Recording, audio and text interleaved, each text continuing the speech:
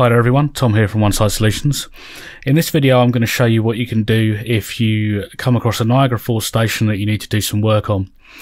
However, you don't know the passphrase.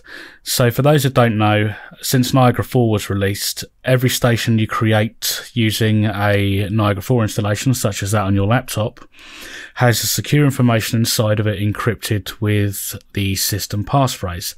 Now, the system passphrase is set upon the installation of your Ni- of Niagara 4. Um, it can be changed at a later date, but that's by the by. And when I say sensitive information within a station, I'm referring to any username and passwords that are used to connect to downstream devices, for example. So a good example would be you've got a you've say inherited a supervisor station from a from a large site. In that supervisor station was connections to say hundred devices in the um, in the Niagara network. So there could be hundred JACE 8000s. Um, in each of those connections in the Niagara network, you have a username and password that's been entered when the station has been built. The system passphrase is used to protect those username and passwords. Um, so, in the event that someone lays their hands on your um, supervisor station, maybe maliciously, it doesn't all of a sudden give them the credentials to a hundred other devices throughout your building.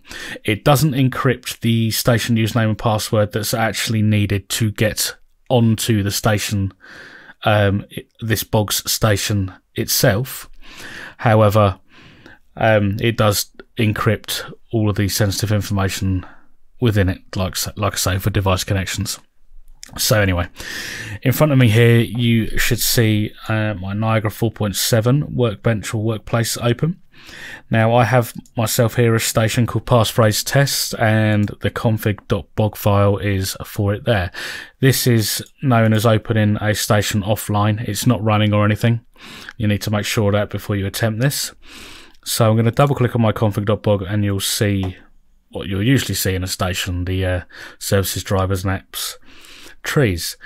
But if you look above, you should see the bog file protection button, which is like a page with a padlock. If you click that, you should see this.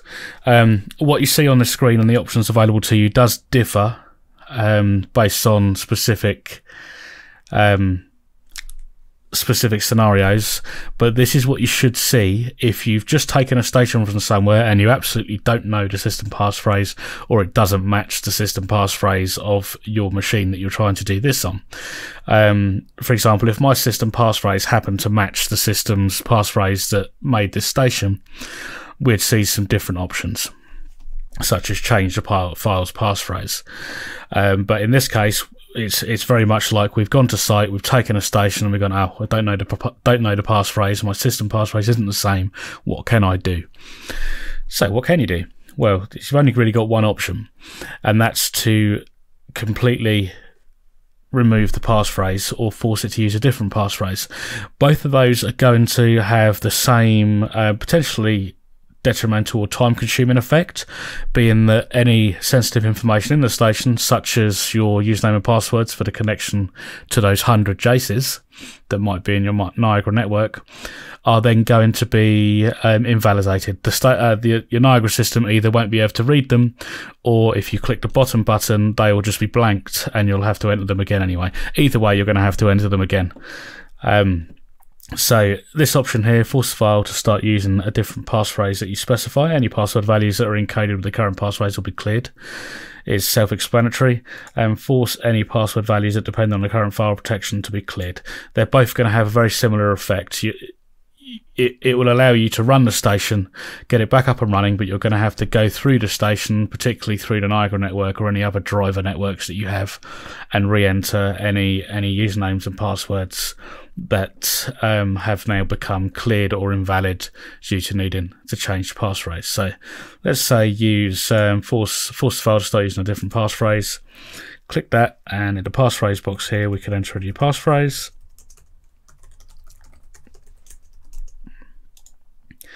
And that's it, job done. You now see that the options that have become available to us have changed because the system now knows what the passphrase for this bog file is because it's what I just entered. So therefore, I can now use the change the files passphrase button, and that would just be like changing a password with no detrimental effects.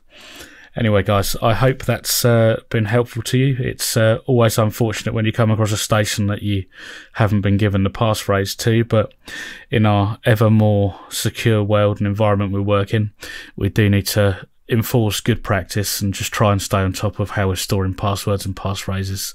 Um, personally, I use a, a key database, password database with a secure master password and a key file. So there's two factors of authentication there.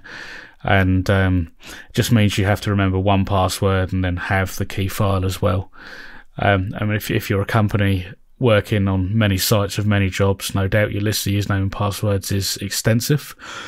So I, I, I, definitely suggest looking into a password database or a password safe, something along those lines.